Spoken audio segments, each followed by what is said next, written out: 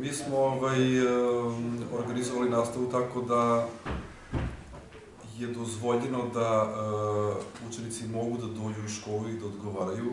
Znači, oni učenici koji su nezadovoljni ocenom, oni profesori koji su nezadovoljni radom učenika, jer uh, sam taj rad online stvara bucati za neko prikrivanje učenika u grupi, nejavljanje, onda su tu argumenti da nije dobar internet i tako dalje.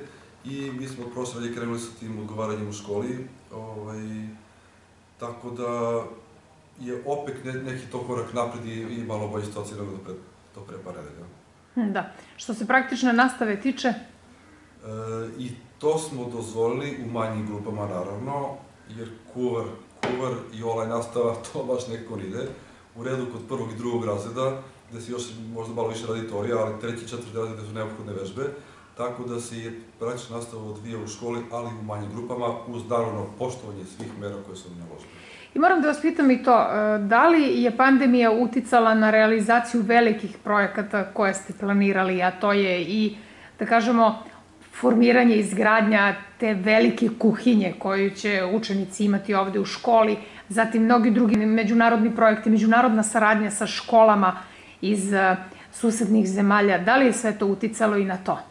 Pa uticalo je uglavnom je to imalo negativan uticaj, ali smo izvukli neke pozitivne stvari svega toga. E, negativno je to što smo, mi jesmo predali i aplicirali za još neke međunarodne projekte. Uspeli smo onom, da kažem, vakumu virusa u toku jeseni da realizujemo taj drugi razvoj projekat uživo u Bugarskoj, gde su bili naši učenici profesori. E, predali smo za nove projekte, čeka se odluka vezana za, za, za realizaciju tih projekata, verovatno zbog korone se malo odlaže ta odluka, što se tiče radionice, mi smo predali i aplicirali kod lokalne samoprave, projekat je ušao u tom širem krugu plana kapitalnih investicija.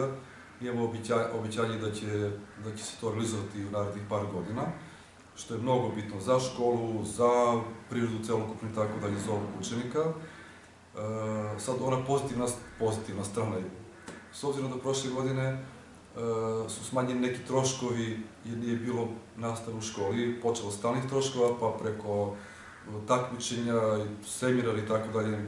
Ovaj, mi smo te, taj novac preusmerili i iskoristili da bi renovirali učeničke toalete, okrećali još neke kabinete, tako da smo izvukli to i eto, uradili nešto što možda ne bi radili da nije bilo korona.